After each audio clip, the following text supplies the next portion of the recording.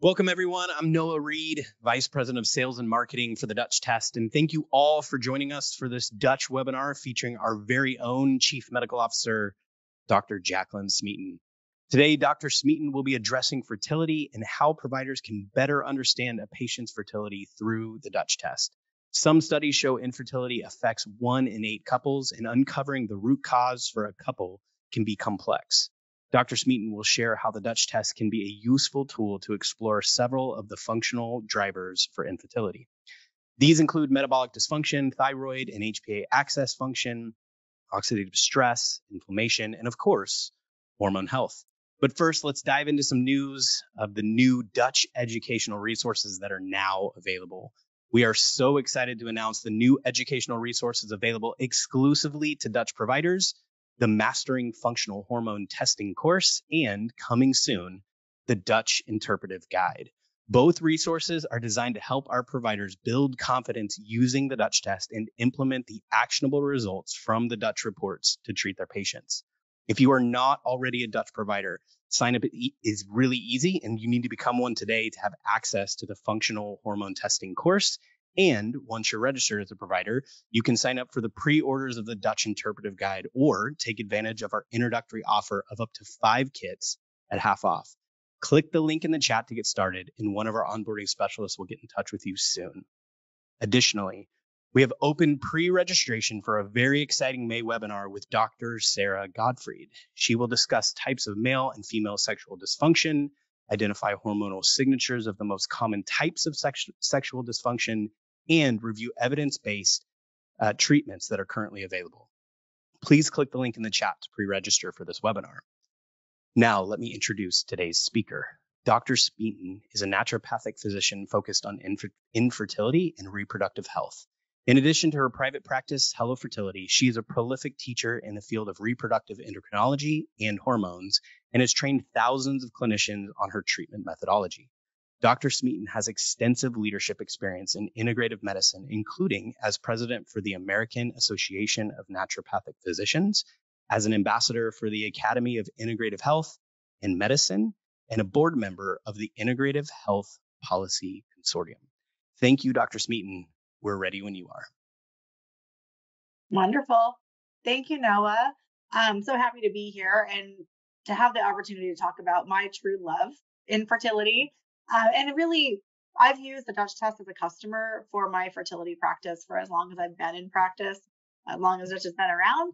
Um, and I really find it to be one of the most useful tools, not just to look at the menstrual cycle, but as you'll see throughout the presentation, the utility that it provides in other areas. So um, let's go ahead and just dive right in. There's a lot for us to cover. Now, before we talk about Dutch testing, what are we talking about when we're talking about infertility? Noah mentioned that infertility rates are on the rise. Um, they are, you know, more common than breast cancer in here. I'm sure all of you in the room probably are have experienced infertility or know someone who's experienced infertility. It's really something that's touched all you know, all walks of life around the planet, unfortunately. So, infertility is defined as absence of pregnancy or delivery of a live born child after one year of unprotected intercourse. Now, when it comes to evaluation, really there's a couple times we think about starting a workup.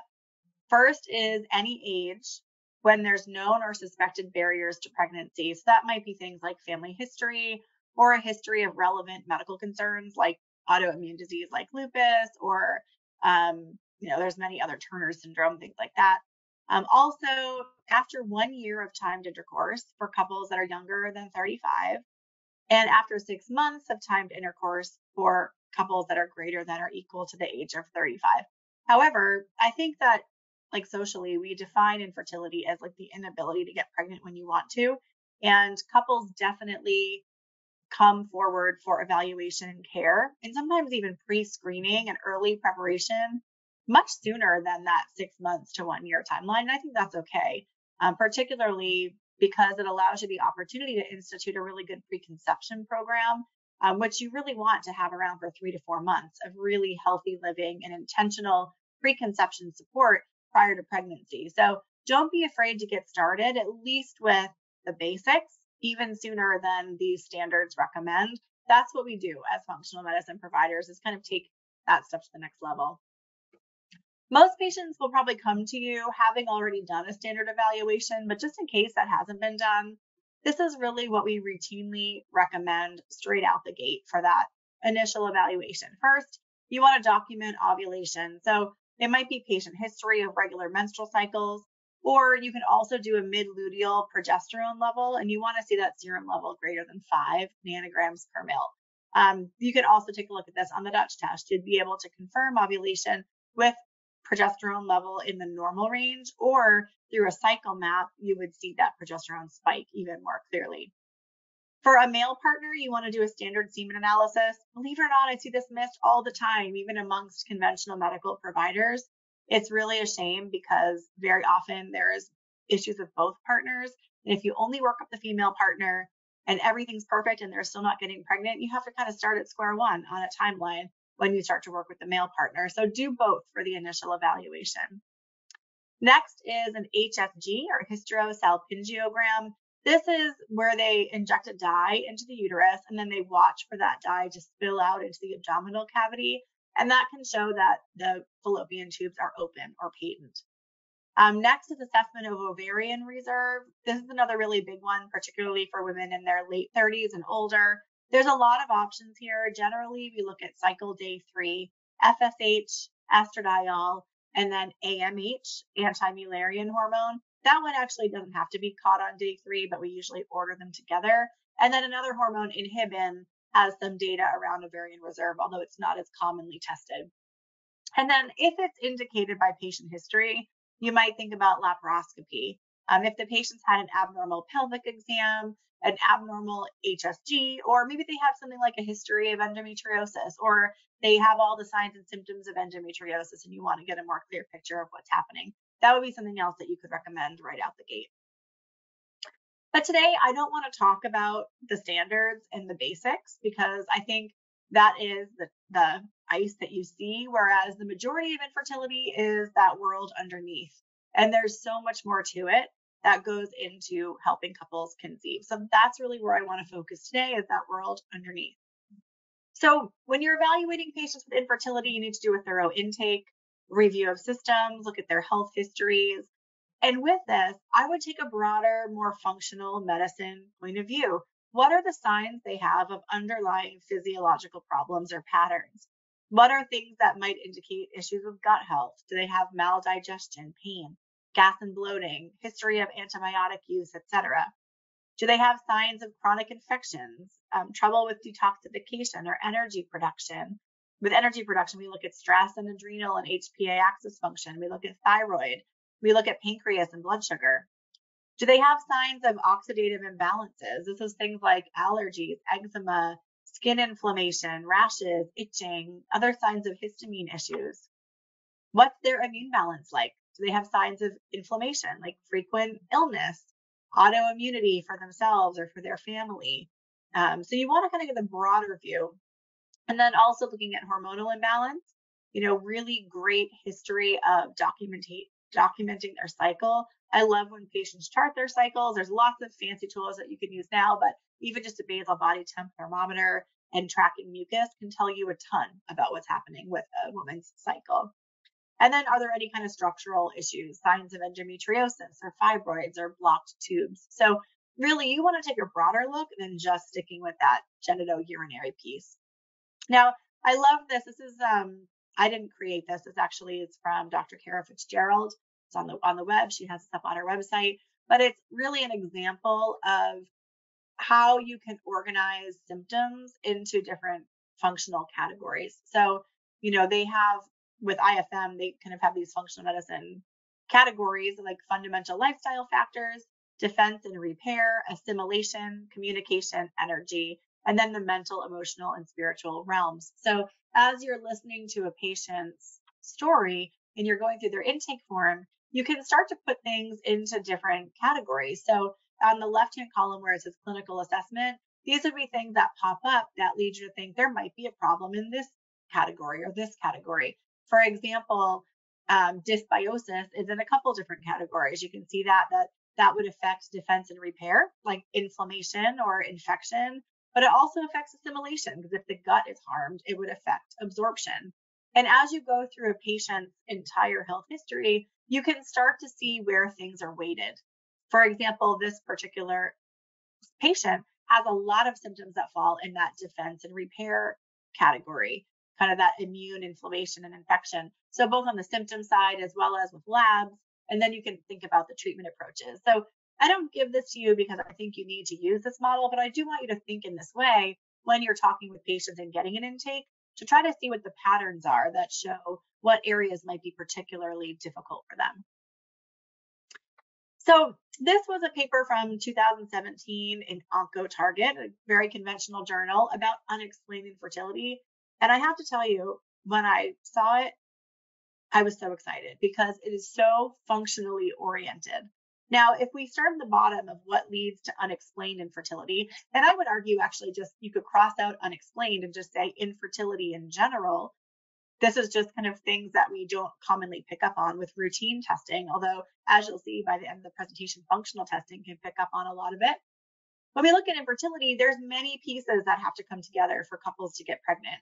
So let's look up at that next level up. Cross out something being wrong. You need to look at egg quality or oocyte quality, sperm quality and motility, um, the embryo being received by the mother and implanting without any kind of issue. Um, you need the receptive endometrium and you need an immune system that can kind of leave it alone. And that um, you also need like good DNA, right? So, what are the things that contribute to those factors or can harm them? We have hormonal imbalance, oxidative stress, and inflammation as key factors there. And when we look at what causes inflammation in the reproductive tract, there could be altered immune cell functions or inflammation, chronic inflammation going on. So, this is a great picture of everything that needs to be in good balance in order to get pregnant. But let's take a look at some of these core functions, like the functional medicine perspective, and some of the things that we can look at that go deeper than conventional medicine and how that would impact a fertility workup. So, first we have environmental pollutants, endocrine disruptors, heavy metal exposures, etc. Look at all the places that that really touches upon. Um, and you might have a different view where you think there's a more direct impact on other things I haven't even circled, but you'll get my point momentarily. When we look at gut health, you know, gut health has a direct impact on many of these, as does stress and our adrenals. Um, we want if we have HPA axis dysfunction, we can see impairment in a lot of these areas. Poor nutrition, additionally, and immune balance, autoimmunity, chronic inflammation, all of these things touch upon contributing factors to infertility. And so I want you to think about that because when even when we look at conventional understanding of what leads to fertility versus infertility or subfertility, a lot of the functional approaches that we take, functional evaluation we have access to, can actually get to the root cause for many patients. And that's been my experience is we're able to really identify things that are contributing that hadn't been picked up on in another workup. So this is really a summary slide for you. I'm going to start with it. I've also put it in at the end for a little reminder for you. But when we look at those contributing factors to infertility. I've tried to put those on the left hand side here for you, along with some of the signs and symptoms that you might expect to see paired with that problem. And then on the right hand side, some of the key Dutch test analytes that you would look at in order to really help you evaluate. And you can see that there's a lot in here um, that can be tied to that workup. So let's go through this a little bit more in depth. So Let's start with hormonal balance. This is obviously the biggest area of strength for Dutch testing. Really, this is a hormone test. So, of course, it makes sense. It could be helpful for hormonal balance. And this is really important because proper cycle and adequate hormone levels are needed to mature an egg, to ovulate, and to support implantation and pregnancy. You need the right timing and the right level of progesterone, for example. So, how can you assess this with Dutch? You can look at the sex hormones and their metabolites. And other labs that you might think about for hormonal balance include the serum labs that I've previously mentioned.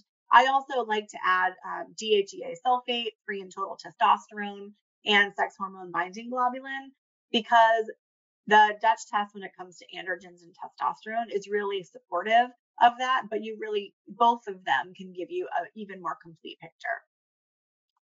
So where do you see that? You can see hormone balance in a couple different places in the Dutch test. The first place is on the summary page. This is the cover page, which I've zoomed in on a little bit, but you can see a summary of sex hormones at the top. This is for women, so you'd see estradiol, progesterone, and testosterone. For men, progesterone is not reported on this cover page, but you can see generally where the balance is for hormones. With cycling females, generally you want to see progesterone a little bit higher than estradiol. You can see for this patient, it's representative of a bit of an estrogen dominance type of picture. The testosterone in this case, this patient had a genetic SNP that showed it to be very low, but you'd want to see testosterone in the normal range as well because testosterone is necessary in order to produce good quality eggs. So you can see that on this summary page here. With estrogen, you know, if you see it high, remember that first of all, this is a luteal phase measurement. It's the collection of the samples is between days 19 and 21. Um, so one, it can be normal. You know, I would ask if it's high, do they have signs and symptoms of high estrogen? Do they have heavy bleeding or cramping or fibroids or tender breasts? And if they do have those symptoms and estrogen is high, it could be an estrogen dominance picture that could be due to external exposures, you know, the use of phthalates or BPA and food products, etc. They could have really high aromatase activity, uh, or it could be poor detoxification. And a lot of things that can lead into that poor detoxification can be insulin resistance, obesity, inflammation, high levels of androgens, which could lead to higher conversion into estrogen from the aromatase enzyme, gut dysbiosis, you know, so much more.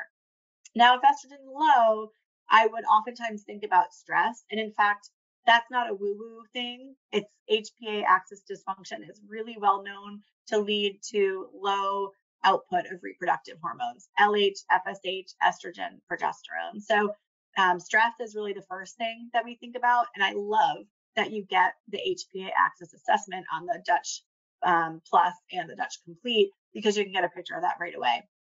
Also, thyroid dysfunction, high prolactin, low aromatase activity, um, low androgen levels can lead to low estrogen. And then also the cell health of the ovaries will make a difference too. That's, you know, that's where estrogen is converted. Um, so poor ovarian cell health or low ovarian blood flow can lead to low estrogen. And then last but not least, we can't forget perimenopause. Most of my patient population is 35 to 45. So some of those women are going through a hormone fluctuation at perimenopause. So it's something that we want to look out for. Um, if estrogen low, also I would ask your patient if they're on anything with DIM because DIM will lower total estrogen. So something to just double check for. And you're really most concerned when that low estrogen is paired with symptoms like vaginal dryness, hot flashes, low sex drive, mood changes, and insomnia, because that's really more of that like perimenopausal picture. Now you can also see estrogen. This is page three of the Dutch Complete report. And you will see it also on page two in like a chart or table format. But I always like to look at these pages that kind of mimic the steroid pathway chart so you can see how things convert. So you have this estradiol, which I pulled from the um, summary page, page one, and then here looking at page three. So you can see all three forms of estrogen there. We'll talk about estrogen detoxification in a minute. Now, progesterone, that's the next hormone you want to take a look at. When it's high, oftentimes it's asymptomatic and normal. Okay, so I, I wouldn't worry too much if progesterone is high. It'll also be associated with supplementation or pregnancy. Um, and I think some of the things that you might be worried about if it's high is that inflammation, obesity, and insulin resistance picture, and HPA axis dysfunction. While it's rare, it can be problematic. Now, the ideal mid-luteal progesterone is above 15. The data is pretty clear on this. I you heard me mention before, above five, we know you've ovulated, but above 15 in that mid-luteal measurement has the best outcomes for pregnancy and for transfer success for patients in IVF. Now, the interestingly, they studied women who are on progesterone supplementation, and they found that when progesterone goes above 41 mid-luteal, that actually can result in lower pregnancy rates. So be cautious. I see in our community people use progesterone liberally for patients that are trying to conceive. there is a time where it's too high. So you really want to see patients get into that sweet spot between 15 and 41, and that's a mid-luteal serum measurement. And the Dutch test does report serum equivalents, so you can use the Dutch test to get an idea of that there. Now, if progesterone is low, that can be associated with anovulation, stress, perimenopause, PCOS, because women will go through cycles and won't ovulate. Um, thyroid disorders, high prolactin, and many medications can impact progesterone too. And low progesterone you'll often see paired with things like fatigue and insomnia, irritability, anxiety, and weight gain. Now, you sometimes will see low progesterone with high estrogen. Of course, it's all about the relative levels of those. So you might see things like PMS symptoms, heavy bleeding, or breast tenderness. So you do want to watch for progesterone to be in good, adequate levels. So progesterone you can also see on page three of the Dutch Complete Report. Um, and page two shows them in that table format still, but I like to look at this level here. And what you would be looking at is this serum equivalent at the top of progesterone. And this is a weighted average of the two metabolites below, which is what get measured. And then you have um, 5 alpha and 5 beta metabolites of them. And so you can see how they are metabolizing. Generally, you know, you'll see them line up like this in many patients. Sometimes patients will have a preference of either beta or alpha metabolites. That's okay from a fertility perspective, but interestingly, um, the alpha pregnanediol actually can cross the blood-brain barrier and interact with GABA receptors. So it's really great for patients who you might want to use progesterone for them to like be more chill or relax at night. This you might also see women in perimenopause that as their progesterone goes down, they start to experience symptoms of anxiety. This might be because they're producing less of that alpha metabolite. And so you can utilize progesterone to help them in that way. But if your patient favors the beta, 5 beta metabolites, you could give all the progesterone you want and you might not see a calming effect. So if you've ever seen that with patients, this might be part of the reason why, just as a little aside. Okay, testosterone. So you really want testosterone to also be in the sweet spot. Of course, when it's too high, like in patients with PCOS, um, you can have a lot of issues. You know, you end up not ovulating. That that's a problem. Um, a lot of other things can lead to high testosterone in women, like low sex hormone binding globulin, low aromatase activity, so you're not converting it to estrogens, stress, obesity, blood sugar dysregulation, inflammation, and then also if you're supplementing with testosterone or DHEA, you might pick up on that through the testing. Okay. Um, I think most people know those high androgen symptoms here: acne, oily skin, changes in hair, changes in mood, etc.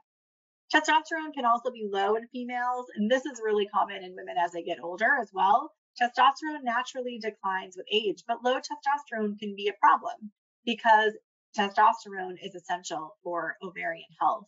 Um, so some of the symptoms and things that you might see are in here if you want to read more about that. But you want testosterone to also be in the sweet spot. And while we are talking a lot about females here, it's important to note testosterone is also critical for males. You probably know this already for male fertility, you need testosterone to make sperm. So you want to make sure that testosterone is in the normal range for males also. Um, when it comes to high testosterone, one thing I want to just comment on when it comes to testosterone in males is testosterone supplementation, like testosterone replacement therapy, can cause or will cause low sperm production. Because when the body senses that there's enough testosterone around, there's a negative feedback loop causing the pituitary to secrete less LH and FSH. And so um, what ends up happening there is men make less sperm and then make less endogenous testosterone. So you can't use testosterone replacement therapy in men who are trying to conceive. Now you can view androgens again on page three of the Dutch report. This is the female version. The male version actually includes additional metabolites, and all the metabolites can be viewed on page two in a table format. But what we typically look for here is that you would see, you know, you can look at DHEA sulfate here. You can see testosterone. Again, this very low level is representative of a patient with a UGT SNP. Um, so what happens with that? In about 10% of the population, but the testosterone doesn't get properly glucuronidated. So clinically, there's no out, you know, no difference. You wouldn't see that. The testosterone is not low in serum, but because it doesn't get glucuronidated due to that genetic SNP, it doesn't spill out in urine the way it does for most people. So we just don't pick up on it. Um, you can see on the table form on page two, I didn't include that in here, but there are some markers that will look normal with a SNP. You can see these metabolites of androstenedione look normal. They're actually on the high end. And also, there's a metabolite called epitestosterone, which would appear normal. So, if you see that mismatch, like you have normal epitestosterone and low testosterone, that might clue you into the fact that it could be a genetic SNP. So, you can always connect with our clinical team if you have questions about that. Okay, next I want to talk about estrogen detox, another critical aspect of hormonal health to review. This is on that same page three, it's just below the estrogens. And so here you can see the different phases and steps. So you can really see phase one circled here. Um, and with phase one detoxification, you have the estrogen being converted um, by being hydroxylated into three different forms. Um, it undergoes conversion by CYP3A4 into 16 hydroxy estrogen, CYP1B1 into 4 hydroxy estrogen, that's the red arrow, and then the green pathway is um, facilitated by CYP1A1, and that becomes the 2 hydroxy estrogens. Now, generally, you want to see more toward the green pathway because that's our safest pathway. That intermediate is the most stable. The 4-OHE1 is actually the least stable, so that is the least preferred pathway. And the reason for that is it can become a quinone, which can be really reactive and actually cause damage to DNA. That's very relevant when it comes to fertility. And then lastly, that 16-OHE1, you can see in this patient that value is very high. The 16-OH is actually tends to be more proliferative. And interestingly, in this patient uh, that I pulled the report from, she had endometriosis. So interestingly, she was producing a lot of that 16-OHE1, um, which has been associated with endometriosis. When you go to the right hand side, you can see a summary of phase one estrogen metabolites, like as ratios in a pie chart, along with the desired ranges. So you really want to see um, 60 to 80% of the 2OH pathway, that preferred pathway. This patient just squeaked into the normal range. You want to see below 11% of the 4OH. This patient was at 10. And then you want to see between 13 and 30%, and the patient was just squeaked in there at 27.6%. So that's phase one. You can read through this here. This is just kind of another written summary of what I've just covered. Um, but important to know that those phase one metabolites still bind to estrogen receptors, so they still have activity. And in order for that to happen properly, you need iron. And you also need good liver function. And alcohol and a lot of medications get metabolized by those same pathways and can kind of tie that up. So if you have patients with phase one issues, first thing I would do is check on medications and alcohol use and really help improve the function of the liver.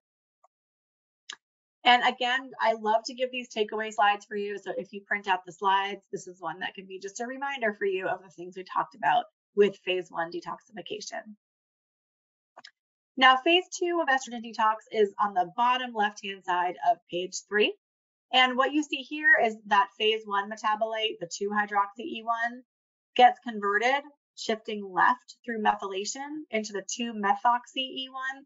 So this requires COMT, um, and that's a methylation step. Now, that's oversimplified. There are other steps besides methylation. There's sulfation and glucuronidation in phase two, but we represent the methylation here so that you can see that. In this case, this is a great example of a patient who's a poor methylator. She's not going through phase two of estrogen detoxification very efficiently. You can see that a couple different ways. One is the direction that the arrows point on the dials. So you can see that she has relatively more 2-hydroxy E1 compared to 2-methoxy. You'd want to see these arrows pointed in the same direction or even have the 2-methoxy pointed a little bit more to the right, showing that it's very efficient.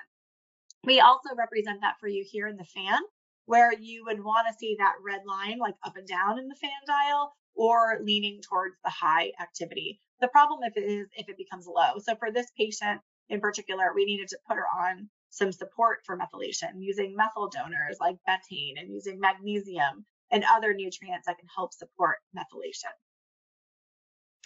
So again, just a kind of summary here and really phase two, I love how Dr. Jones would always explain it that this is like tying the bow on the box. So that your estrogen is now like packed up and ready to be uh, sent off to Santa Land or whatever in the sleigh. Um, and then phase three is when it comes out of the cells and actually into and then out of the gut, hopefully out of. So the estrogen metabolites leave the liver through bile and they get excreted through feces and urine. And one thing that's important to know about phase three is that there is this enzyme in the gut called beta glucuronidase. This is found in the tissues, but also made in the gut by microbiome imbalanced, you know, by some dysbiotic organisms. And when it's made in the gut, the estrogens end up getting recirculated rather than excreted. So Dr. Jones would say it's like cutting the ribbon on the box so that the estrogen can come back out, get absorbed rather than being sent on its way through stool. And that can increase the overall estrogen load. So again, just a nice summary slide for you. Um, I'm always asked, what can I do about this? So I have included some of my favorite therapeutics as well that you can think about. Just for example, support phase one, support phase two, and support excretion into the gut. Okay, let's move on from hormones. And I know that's what Dutch is known for, and it's the reason why I order the test so much. But I really want to spend time today because I think you probably know the hormone benefits. I want to spend some time talking about the other things that you can learn from the Dutch test when it comes to fertility. So, the first thing I want to talk about is oxidative stress. Now, oxidative stress is one of the key drivers for cell damage in the body, period but it's really, really relevant when it comes to egg and sperm health. I mean, the reason why men make millions and millions of sperm per ejaculate is that many of them die and are damaged um, by oxidative stress. And so we really want to keep that in balance. And there's a couple great markers for oxidative stress on the OATS side. The, the last page of the report is the organic acid test or OATS, you're going to hear me say. And you can see them listed here as nutritional, neurotransmitter. This is actually an old test, so it's missing some of them.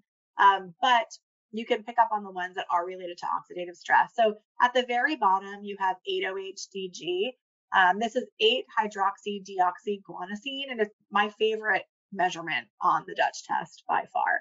When oxidative stress goes up, there's more DNA damage. This gets spilled out into the urine. So you really want to make sure that it's at within those within range levels. And if you see it elevated, that's really concerning.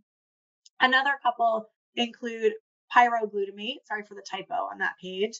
But pyroglutamate is a marker for glutathione. So if pyroglutamate is low or high, it could be indicative of a deficiency in glutathione. Now, glutathione is our body's most potent antioxidant. We make it from precursors like N-acetylcysteine. You can also supplement with it directly. So I like to see that within the normal range. And then another one that I look at is melatonin. This is a critical antioxidant for fertility. In this patient, it's really high because she's supplementing melatonin because we prescribe it a lot for cell health and egg quality. There's a ton of research on it. Um, just using that three milligram dose before bedtime can help to improve egg quality, um, particularly in older women. So you'd want to check to make sure that their production isn't low. And you could also supplement it it isn't one that has a negative feedback loop. So supplementing melatonin won't cause you to produce less melatonin. So you can totally supplement it like an antioxidant without doing something like disrupting sleep. You just want to make sure that you still take it at 30 minutes before bedtime because it will make your patient sleepy. Okay, so other things that we look at here, um, the next one I want to talk about is inflammation and immune balance. So immune balance is really critical for fertility. And why is that? Inflammation and immune imbalance can affect hormone levels. It can affect your ability to detoxify. It can affect the immune reaction. So we're not talking too much today about implantation, but the embryo is actually, or the blastocyst at that point is half mom's DNA, half dad's DNA. And so when that is implanted, it's actually foreign tissue. And so our bodies are made to recognize and fight foreign tissue and get rid of it. And there's a tolerance that has to occur within the mother to allow that blastocyst to implant and grow. And if there's overreactivity of the immune system or an imbalance there, that can lead to problems. That can lead to rejection of that or a failed implantation.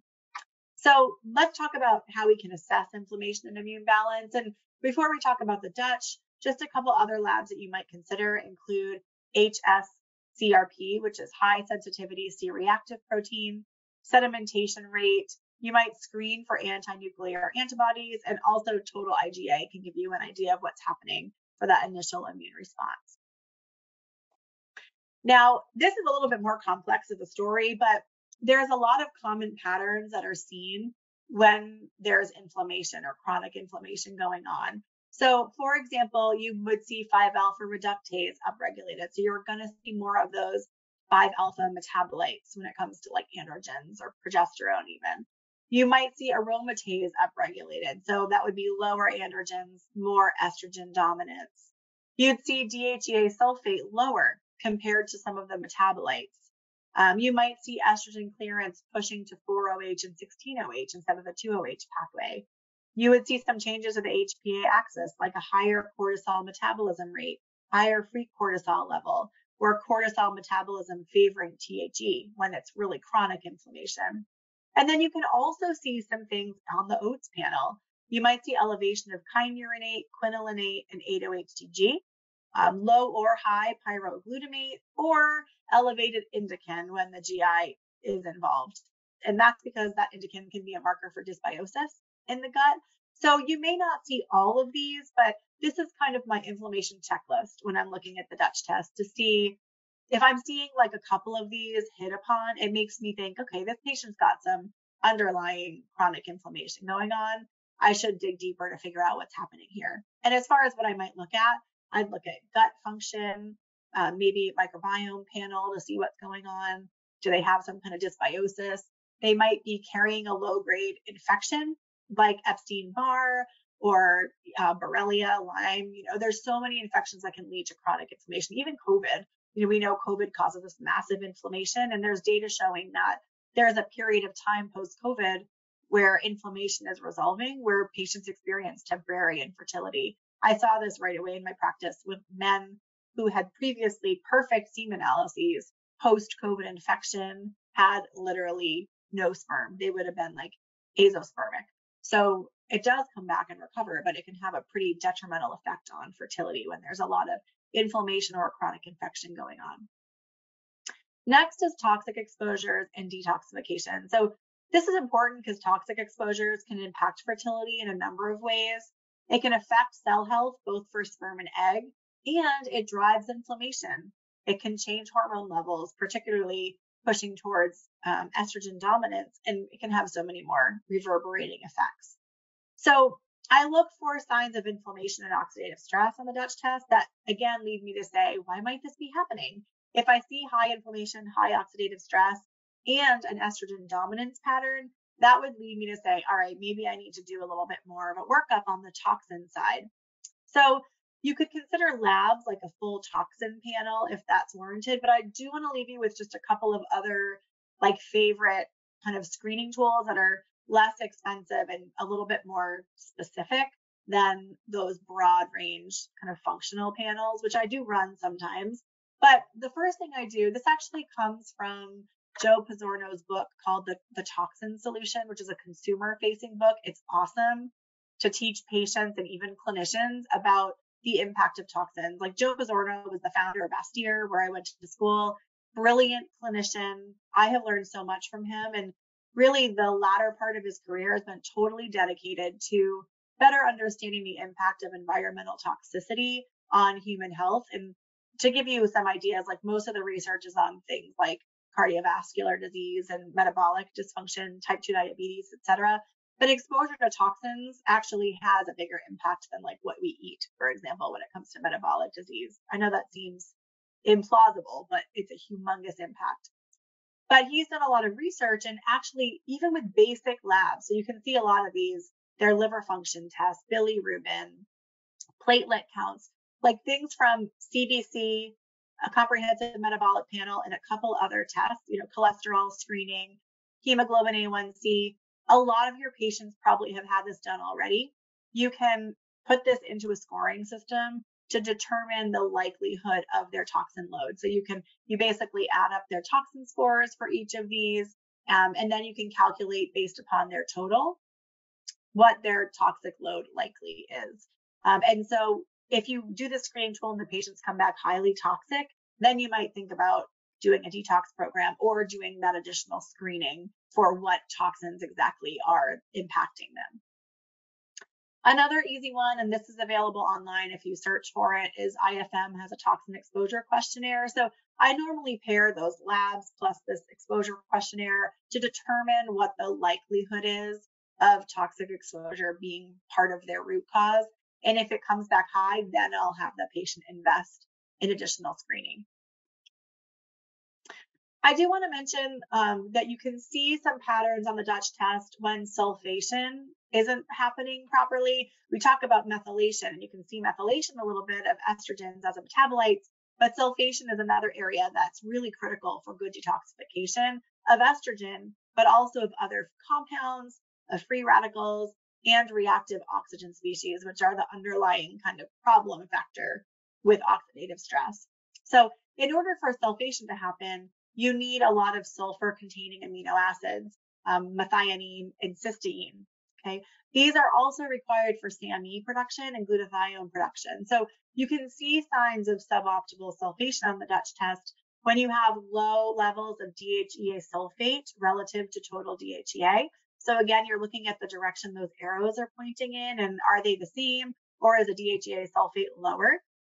You also might see elevations of the 16-OH metabolite of estrogen or elevated estriol relative to estrone and estradiol. And then lastly, low melatonin is another sign. So again, I like to share some of the patterns that we can see on the Dutch report that lead me to think about underlying factors that I need to address for the patient's health. This is relative for fertility, but of course, like we talked about, toxicity affects so many areas of health that this is very relevant really across the board. Okay, Mitochondrial health and energy production. Mitochondria are critically important for healthy cells, including egg and sperm, and also early embryonic development is very energy intensive. So you want to make sure that mitochondrial health is good.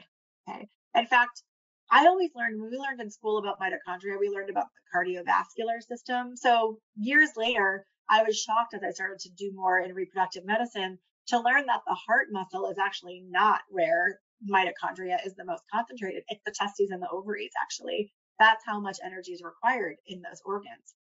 So you can take a look at mitochondrial health a little bit with the Dutch test by looking at 8-OHDG, pyroglutamate, and remember that mitochondrial function and oxidative stress go hand in hand. And so if you see deficiencies in those areas, you might think about nutrient testing for CoQ10 and other nutrients that are necessary for good mitochondrial function.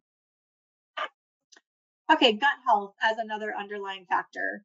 This is really rising and it's been kind of my area of nerding out lately. I'm sure you have those areas too, but lately, like reproductive microbiome and then the role of the gut microbiome on fertility have been just top of my mind. And I, you know, spend my Sundays like reading papers on this stuff.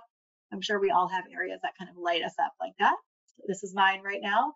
But GI function, of course, contributes to inflammation and oxidative stress. It can also affect hormone levels. I talked about beta glucuronidase earlier. And gut health affects the microbiome in the reproductive tract, which we know is linked with fertility outcomes as well. So the uterine microbiome, a lot of you probably haven't thought about that before. You might think the uterus is sterile. That's what I was taught. It's totally not. The vaginal microbiome, there's even a microbiome of seminal fluid and follicular fluid fallopian tube fluid, everything. Okay. So there's a couple things you can look at to get a little snippet picture into gut health. My favorite is Indican. This was added to the Dutch testing in 2022. And when Indican is high, that can be a marker of gut dysbiosis. Now, it's not specific, like you can't say it's an infection with a specific microorganism, but you can see when elevated levels, I would generally run like a GI map or some kind of gut microbiome testing at that point to try to figure out what's going on. Also, you might indirectly see ties to gut health when estrogen levels are too high. So if there's estrogen dominance, I'm always looking for are there signs and symptoms of gut problems? Is the indican high? That might be another time that I would do additional like broader GI panels or a microbiome assessment. And then just a couple of other considerations.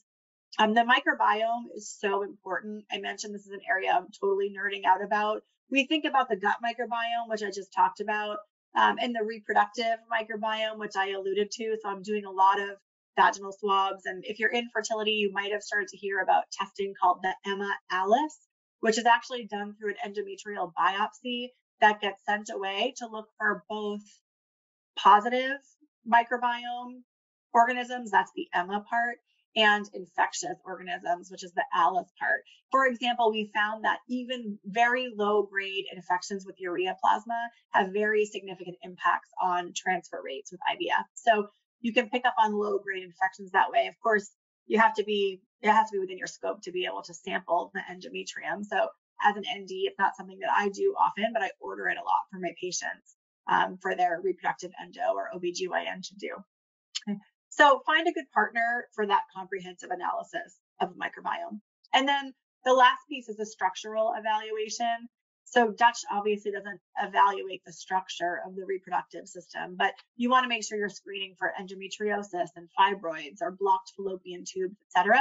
And that might require additional workup, ultrasound, HSG, laparoscopy. So I really recommend also that you build great relationships with the reproductive endos and OBGYNs in your area because they can serve as a great source for referral, even if it's just for those procedures, really to help support your patient in getting a comprehensive workup. So just in summary, when you're looking at the test, you want to take a look. This is that summary page um, at page one where you can see the sex hormones from an overview. You're going to deep dive more on page three of the report. You also on this page can see those adrenal hormones. Um, so we didn't talk about that today, but that's a whole nother area. Actually, last month we covered that in our webinar. And so I would recommend that you spend the time to listen to that because it's so relevant for female reproductive health as well. And we just don't have time to get into that piece of it today since we covered it last month. Um, but you want to take a look at the adrenal hormones as well. And then when you're looking at page three, you can again get so much information on reproductive hormones. And then finally, on the last page of the report, making sure that you spend some time looking through those organic acids, which can give you hints in just so many of those underlying factors that lead to challenges with fertility. And lastly, I want to just give an example of um, CycleMap, which I do as well in my practice. This was a patient where we had done serum labs on cycle day three and cycle day 21 for her, and everything looked really good. In fact, the estradiol looked like kind of high, even on the serum labs. And so we thought she had high levels of estrogen, and I put her on things like DIM and stuff like that to try to bring that down. But then when we ran Dutch testing, I ran a Dutch Plus, the CycleMap, Dutch Plus Plus, a CycleMap, um, what's interesting is when you look at cycle day three, you have estradiol in the normal range, but then like the rest of the cycle, it's pretty much low. You know, her estrogen overall is extremely low compared to where it should be. And then similarly, she ovulated really early. We were able to pick up on that on the Dutch CycleMap. So I really use this as well when I have those pictures where like their hormones just aren't making sense from the spot testing. Because with serum, you only can get a snapshot. It's one day. And even within a day, hormones fluctuate significantly. You know, testosterone, I think, like goes undergoes cycles like every 45 minutes or something. It's frequent. So when you're only getting one time point, it's like literally a snapshot in time. Where I like the CycleMap because using urine, you're getting a longer time point because that urine takes a longer time to build up. So you're getting the metabolites over the course of hours rather than just a moment in the serum. And also you get multiple time points throughout the cycle. So you can see how it charts out like you can see here. So just want to put a plug in that if you haven't run a CycleMap before, that can be helpful for patients with any kind of cycle imbalance or fertility challenges too. So thank you so much. Um, I'm happy to take any questions, but I do just want to reiterate what Noah shared at the beginning that we are offering for new providers. You can get 50% off up to five testing kits. So you can choose the type of kits you want. You get that discount. It gives you the chance to try them on yourself, try them on your partner, on your patients. Um, and it's a really nice way to get started with Dutch testing. As Noah mentioned, we have so many resources if you want to learn more about how to really interpret the Dutch test with expertise. And the course he referred to, which launched about two weeks ago um, is amazing. It's I can't believe it's free to be honest because it's like eight hours. You can go through it at your own pace, and it's soup to nuts. Like if you want the expertise that our doctors have on the team, you can watch this course. You're going to learn so much about hormones and about the Dutch test. It's awesome. Um, there are some additional just benefits to the Dutch test. Super easy at home collection with urine and saliva. If you've ever done saliva testing where you have to spit in the tube, you know that that can be really challenging. Ours doesn't use that. We have validated a really easy salivary collection. You get really comprehensive reporting results. We'll even drop ship to your patient's door so you don't have to handle the kits. The turnaround time for the labs is consistently excellent. And then we give you a lot of support. You have the video tutorials course. The interpretive guide is coming soon. That's like a hundred and you know something pages. I, I'm lucky enough here. I can kind of give you the the treat that I got the print copy. Um, it's amazing. It's basically a consult in a book. Um, but then you do have access to our team of doctors to help you as you're interpreting tests and coming up to speed. Um, so really excited. As Noah mentioned, you can click the link in the chat if you're interested in becoming a provider. Yes, thank you so much for that wonderful webinar, Dr. Smeaton. With the time we have left, we do have a few questions that we're going to try to jump to. Uh, so we'll start with some of the uh, the questions that we had in the chat. Um, Great. Which company do you recommend for sperm testing? Uh, well, normally I have my patient go to their local reproductive endocrinology clinic. So um, most hospitals offer semen analysis. The challenge is that not all of them do the best type of that. And of course, with labs, there's so many different methods, and you want a lab that's using the best method, which is called a Kruger method or Kruger morphology. So you could call the hospital to see. It basically the morphology level instead of 40% being normal, 4% is normal. It's like the checklist that sperm have to pass like are the criteria they have to meet to pass is a lot higher. The bar is a lot higher, but it's a lot more specific and sensitive. Um, most reproductive endocrinology clinics do that. Now, if your patient is paying cash, going direct, there is a company that I do refer patients to. Can I share that stuff here? Any problem sure. with that? Okay. Um, it's called Legacy. So their website, I think, is Give Legacy or Get Legacy. I think it's givelegacy.com. It's a mail order. So they send a sample collection to the patient. They collect it home and mail it back. And they do routine semen analysis and they also do what's called DNA fragmentation, which is a measure of like what percentage of sperm have healthy DNA inside of them. And that has risen as another really great measure for sperm. So that's another option. It's like, I think about $400 to pay out of pocket um, versus going through insurance with a reproductive endo. Even your OBGYN could order it from a reproductive endo and get it insurance covered, probably. Speaking of genetics, do you find it important to check MTHFR in fertility cases? Yes, definitely it can be helpful, particularly with recurrent losses. That's where we really think about um, MTHFR. I would just say, like, it's not the whole picture. And I think there's been overemphasis on that one genetic SNP when really you're looking at like overall methylation. So I don't test it on everyone because it can be expensive to test. And the therapeutics, for the most part, the majority of patients' needs are met through like good preconception care, a good prenatal with methylated B's, for example. They might need additional support, SAMe, betaine, things like that. Um, but I do think it's really valuable. I just, you always have to weigh with all the tests we want to run, you have to weigh the patient's, you know, ability to absorb the cost of it and the priority of labs. But it is on the list of really great labs to consider.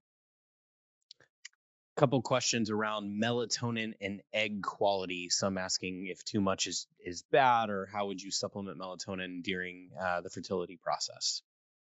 So most of the studies on melatonin for fertility and for egg quality use a three milligram dose of melatonin. So I haven't seen a lot of studies that go to that like 20 milligram, 50 milligram dosing, but we do see those studies in cancer where we do see that it improves cell health among cancer cell lines. So I would say that that's suggestive that higher doses could be beneficial, but the data, the majority of data on melatonin is at three milligrams. All right, the last softball question, then we've got a, a doozy for you to finish. Uh, how do you treat a patient with high 16OH and high 4OH? but low 2OH. Does it say? Yeah. Yeah.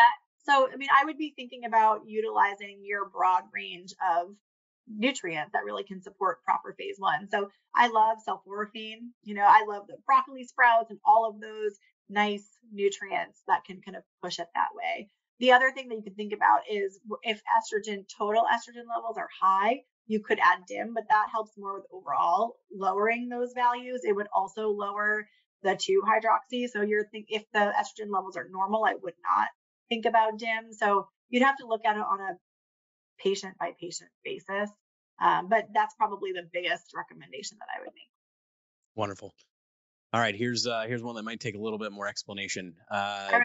Sorry for the rabbit hole, if uh, if if it is one. Did you say 16-OH-E1 can be associated with endometriosis, and how high does 16-OH-E1 need to be in order to raise a concern? That's a great question. So, yes, I did say that, and the data is not conclusive generally. So, some studies show that elevation of four or the ratio of four and 16 are associated. So, I would say we don't have a clear answer although we do know that that proliferative 16OH, and it makes sense that the 4OH is also involved because of the cellular damage and those quinones like being more highly reactive and more oxidative stress and inflammation. But as far as like what absolute number you would be concerned, I have not seen that information, especially when we're looking at urine metabolites. Like there's just not as much published, you know, in general on urine as there is on serum. So hopefully someday we'll get a better sense of that. But what I tend to look at on the testing is ratios. So if you're seeing the ratios of 16 going outside of that normal range or of 4 and 16 outside of that normal range, then I would definitely be thinking about it, especially if my patient is reporting signs and symptoms of it, like pain, heavy bleeding. You know, I would always start with the patient and use the labs to inform their care versus starting with the labs, you know, regardless of the patient's presentation. How'd I do? You did awesome. I right. I, I I figured that was going to be a longer answer, uh, so that's the one we'll, we'll close with today. Thank you all again for joining us today. Check your inboxes tomorrow for a link to the webinar recording and download the slides. It will come in your email tomorrow.